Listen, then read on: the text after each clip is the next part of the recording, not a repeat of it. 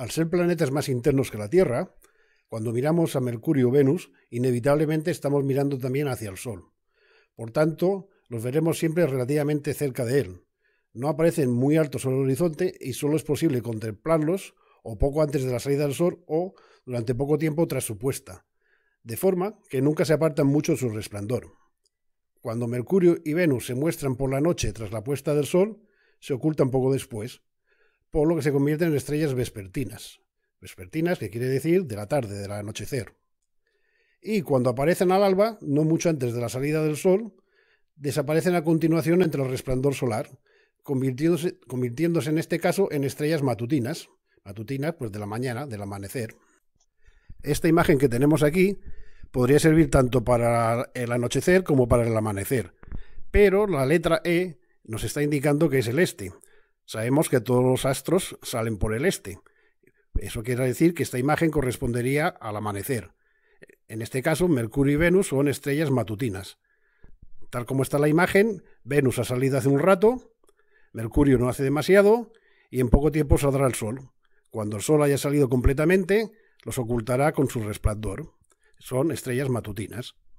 Si en vez de la E fuera la O del oeste, oeste pues sabiendo que todos los astros se ocultan por el oeste, estaríamos en el anochecer. Entonces, tal como está la imagen, querría decir que el Sol se ha ocultado hace poco y que en poco tiempo lo hará Mercurio y al cabo de un rato lo hará también Venus. En este caso se estarán comportando como estrellas vespertinas. Al principio, en la antigüedad, pareció natural creer que las dos estrellas vespertinas y las dos matutinas eran cuatro cuerpos diferentes.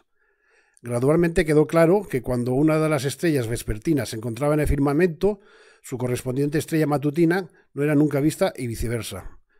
A los astrónomos les pareció ya eh, comenzó a parecerles evidente que se trataba de dos planetas, cada uno de los cuales se movía de un lado a otro del Sol, haciendo alternativamente las veces de estrella vespertina y matutina. El primero en expresar esta idea fue Pitágoras, aunque es muy posible que lo hubiese sabido por los babilonios.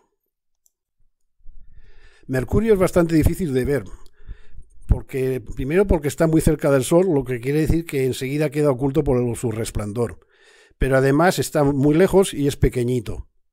Sin embargo, Venus está bastante más separado del Sol y además es grande y es mucho más cercano a nosotros. Esto quiere decir que es muy brillante. De hecho, después del Sol y la Luna, es el astro más brillante del firmamento.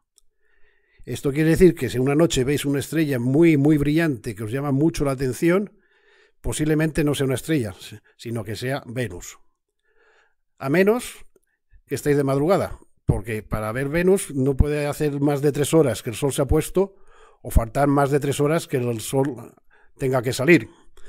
O sea que si estáis de madrugada y veis una estrella muy, muy brillante, pues no es Venus, será otra cosa. Al ser